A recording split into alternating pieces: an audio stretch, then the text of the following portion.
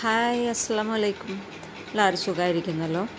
ഞാനിന്ന് നമ്മളെ മലയാളികളുടെ ഫേവറേറ്റായ വെള്ളയപ്പത്തിന്റെ റെസിപ്പി ആയിട്ടാണ് വന്നിരിക്കുന്നത് ഈസ്റ്റും ബേക്കിംഗ് പൗഡറും ഒന്നും ഇടാതെ തന്നെ നമുക്കിത് ഒന്ന് ഉണ്ടാക്കി നോക്കാം.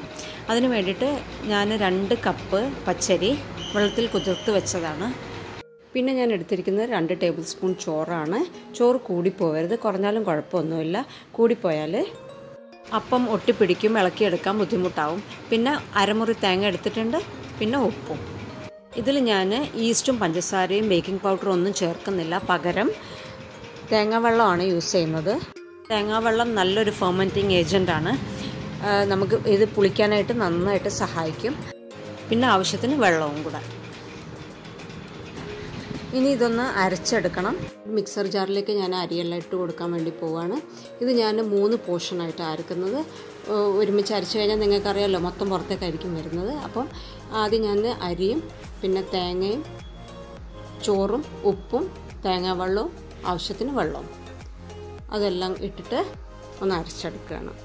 ഇത് പ്രപ്പോർഷൻ ഒന്നും നോക്കേണ്ട ആവശ്യമില്ല. മൂന്ന് പാർട്സായിട്ട് അരച്ച് കഴിഞ്ഞതിന് ശേഷം പാത്രത്തിൽ ഒഴിക്കുമ്പം മിക്സ് ചെയ്തെടുത്താൽ മതി. ഇപ്പം ഞാനിതിലേക്ക് തേങ്ങാവെള്ളവും വെള്ളവും കൂടെ മിക്സ് ചെയ്തിട്ടൊന്ന് അരച്ചെടുക്കുക ഞാൻ ഒരുപാട് ലൂസായിട്ടല്ല അരയ്ക്കുന്നത്.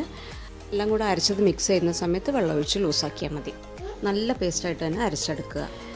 ഇപ്പം ഞാൻ അരച്ചത് കുറച്ച് തരിയുണ്ട്. ഒന്നും കൂടെ ഒന്ന് അരച്ചെടുത്തിട്ട് വരാം. അരച്ചത് ഞാൻ ഒരു പാത്രത്തിലേക്ക് ഒഴിച്ചു കൊടുക്കണം. ബാക്കിയും കൂടെ ഇതുപോലെ എല്ലാം അരച്ചിട്ട് വരാം. എന്നിട്ട് ഇതിന്റെ കൺസിസ്റ്റൻസി ഒന്ന് നോക്കാം. കുറച്ച് തിക്കായിട്ടാണ് ഇരിക്കുന്നത്.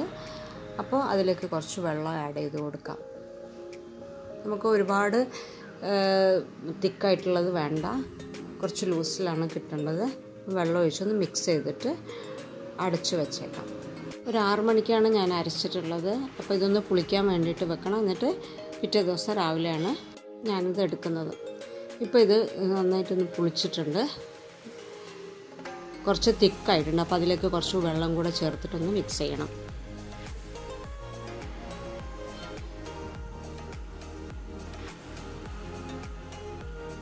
ഈ ഒരു കൺസിസ്റ്റൻസി മതിയാവും.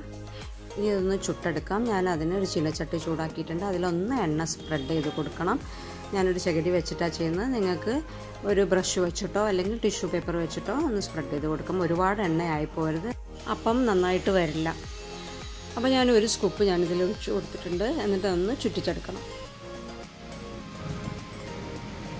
ഞാനിത് ലോ ഫ്ലെയിമിൽ ഇട്ടിട്ടാണ് ചെയ്യുന്നത്. ആദ്യം ഹൈ ഫ്ലെയിമിലിട്ട് ചൂടായതിന് ശേഷം ലോ ഫ്ലെയിമിലിട്ട് ഇത് ഒഴിച്ചതിന് ശേഷം ഫുൾ ഫ്ലെയിം ആക്കി എന്നിട്ട് കവർ ചെയ്തു.